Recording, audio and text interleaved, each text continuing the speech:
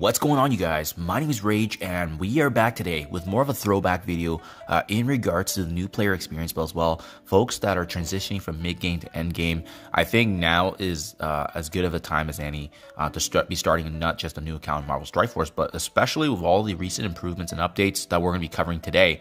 Um, I think it's just a phenomenal time right now, especially um, the catch-up mechanics involved and they've been doing an exceptional job in terms of just, you know, identifying that there is that mid-tier grind that you need to transition to end game. Because honestly speaking, guys, um, you know, me being situated in end game for years now, it's really where the meat and potatoes of the game come, right? Like it's all the new events, um, the participation of really the end game content and getting the juiciest rewards, but at the same time, still bolstering your roster. Getting to the end game as soon as you can is going to give you an avenue of different resources that are just going to help bolster um, your growth, progression, as well as even just the overall enjoyment uh, to the game. So, having said that, guys, let's uh, you know let's talk about the obvious elephant in the room, which is the XP. Right? Um, they've made a recent update on Marvel Strike Force now that all accounts up to level 95 are going to get a boost. What does this mean? Well, it means if you're starting a new account now, or even those that are already existing before level 95, everyone's actually going to get a bonus XP whenever you're leveling up now to get you essentially closer to the next level upon furthering leveling up. They were doing previous testing, but now it was great to get that clarity in the Marvel Strike Force blog post that it is 100% uh, live and in game now. So essentially, in layman's terms, it's easier to level up, which I think is the right call because um, as these level gaps have gone, you know, higher and higher, they haven't really done anything to improve and, or streamline that mid-player experience, especially folks that are casual, those that aren't logging in every single day, although they should to keep the daily objectives alive and login streak some people just don't have the time, right? And that's the case. Um, this is kind of a method to really, um, you know, uh, cover that gap, that that difference between folks that are in the casual transitioning to more of maybe an engaged status, and uh, it's going to get them there because it's going to bring their levels up. A higher commander level means a higher roster level that you can bring up characters, making it even easier to unlock and complete content in the game. So I think that's huge that it's now universally applied. Um, it's fair. Unfortunately, it, there was some testing, and obviously, at the end of the day, some people are gonna, you know, feel that frustration that they didn't get that participation or involvement uh, of their account getting that extra bonus. But now that it's live, and, and in fact, everyone's getting the same benefits, so um, it is what it is. They always have to do testing, but I'm glad at least we now got some not just verbiage and communication, but as well as uh, confirmation that it is live and in fact uh, in game. Now, Having said that, one of my most favorite game modes that they've introduced in the recent year is actually called uh, the Showcase Events. But as well, um, even if you guys are watching this video uh, months down the road, guys, um, keep in mind every instance in the game, there's always two or three events that are live where it gives you an opportunity to farm energy and so forth.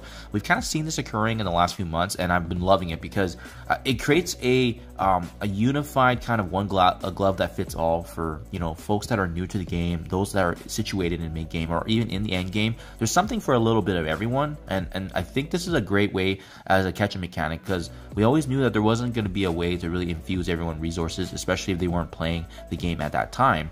Um, well, now you have these events that are constantly ongoing. That's going to give you kind of what you need because you farm essentially what you need. So I'm going to talk uh, real briefly here about the Spider Society showcase because, again, uh, I love the fact that there's always usually one ongoing dependent on the new team that's coming. Um, so this is obviously a scale raid team. So even in the test drive initially, they let you try out the full five members of the team, but they also reward you character shards too. So if you're brand new and you don't have any characters featured um, for this uh, showcase event, um, they just give you mission provided characters. So you're just basically getting free character shards that guarantee essentially an unlocked character. After that, it is the story mode where it does require, um, you know, a, a, subset or required team. In this case, Spider Society or Web Slinger characters. And this is the one I do want to focus on because um, this is that attempt to bridge that gap difference to, to trying to get uh, in, implement a catch up mechanic. Because depending on where you are in the game, right? Say for instance you're a beginner commander, you can farm you know these blue materials at the very beginning. Uh, say for instance you're transitioning from new to mid game, you can farm the purple resources from you know nodes one, uh, nodes five here all the way to essentially nodes uh, eight involving that is really where you start kind of the early end game push um, you know the gear tier 13 14 and beyond where you need orange gear. And they also added that as well. And then finally um, at the very end they do have teal gear if you can only um, you know maximize your progression through the story mode but even further than that guys is when they've added the aspect for end game players like myself there's a challenge aspect here where you do actually need, um, you know, the specific feature characters. In this case, I need to unlock Peter B. Parker to go forward with this, but I eventually I will if I'm able to uh, in this uh, showcase timing and then get more further rewards. And then finally, um, this is for all the, you know, probably the spenders out there that already have these characters unlocked, but you need them at uh, certain gear tier levels and star requirements. Uh, so I'm not able to participate this because I obviously don't have the fully built Spider Society at Gear Tier 16, 6 yellow stars. But again, Whales and Krakens will have that, so they're going to get an opportunity for these rewards. So I just love the fact that it does get tailored to each and every single type of player in the game. And that's created a, a wealth of um, not just uh, uh, a resource for us to accumulate, but as well just options for people um, depending on where you kind of are in the game. Absolutely huge, guys.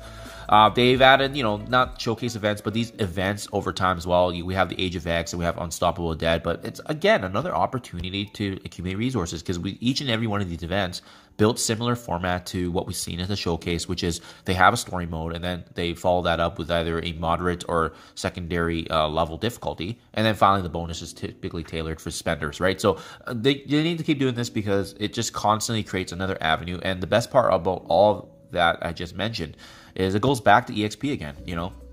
We're talking about leveling our characters up, leveling our roster up. Well, each and every one of those game modes that they've added now um, adds additional XP, and it just helps everyone across the board to get that progression level even faster. And I think that's really been kind of the, the big highlight in, in the recent updates, to say the least.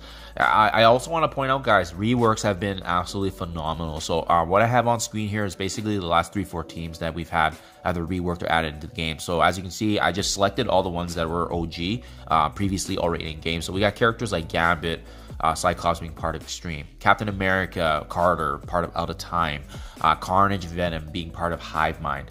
We got characters like Vulture, part of that huge, massive Sinister Six rework. Ghost Spider, Spider-Man Noir now being part of Spider Society, and Namor being part of Cabal. Um, they're making these irrelevant characters that have not been used for years. Um, you know, more recently, obviously, Gambit was part of uh, the Unlimited X-Men, but aside from that, many of these tunes have not been used. And guess what?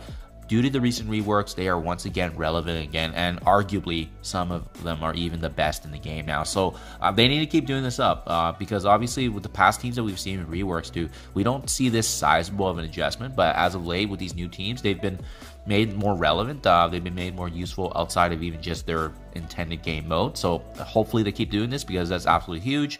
And then finally, guys, um, I think the big one as well is farmability. I mean, we've seen this across the board couple weeks back, they completely refreshed the entire store here of how certain characters are kind of getting unlocked and so forth. But um, they have not been shy to add newer characters and teams into um, the orbs now as of late, right? So, for example, I think, yeah, Spider Slayer is part of the new Sinister Six Superior Six team, and now he's a Blitz Orb, right? We have Kraven being part of the new Sinister Superior Six, and even uh, characters limited as Big Time Spider Man getting added to raids. So, I mean, they're they're doing a really good job of just making characters that you know are actually very powerful being relevant and, and, and, getting added into a farmable manner, which has been huge. And then on top of that, um, you know, obviously the big one for us is like, because especially if you guys are uh, players that have been in the game for three or three, four years plus, like myself.